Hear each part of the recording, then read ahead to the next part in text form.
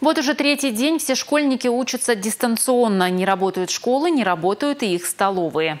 А ведь там кормили бесплатно некоторых учеников. В связи с ситуацией в учебных заведениях начали выдавать продуктовые наборы. Здравствуйте. Здравствуйте. Фамилия Степанова. Третий В. Третий В. Сейчас распишитесь. Получите, распишитесь. Оксана Степанова получает набор продуктов для двоих детей. Артем и Карина учатся во второй столичной школе. Хотелось бы выразить благодарность да, за то, что нас не забывают даже такое вот время. В этом наборе находятся очень необходимые продукты, такие как макароны, сахар, рис, масло подсолнечное и сладости для деток.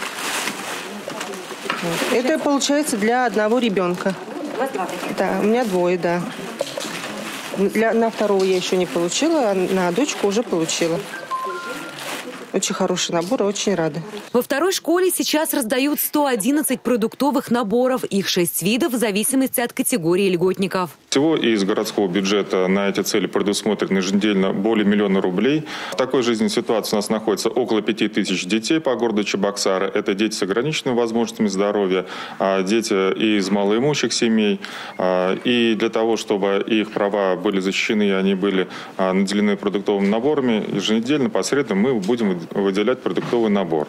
Один продуктовый набор рассчитан на 5 дней. Формируют их комбинаты школьного питания. Состав набора может измениться. Уже на следующей неделе планируют добавить сладкие продукты. Такие наборы будут выдавать каждую неделю на протяжении всего срока дистанционного обучения. В отделе социальной защиты населения уверяют, если сроки поддержки истекают, волноваться не стоит. Они автоматически продлеваются до 1 октября. Если же вам необходимо первично подать документы, сделать это можно дистанционно. То есть через портал госуслуг можно отправить заявление и документы, либо же через почтовое отделение, либо на электронный адрес э, отдела социальной защиты населения, который можно найти на портале Минтруда, либо на соцпортале, либо казенного учреждения. Юлия Важенина, Игорь Зверев, Республика.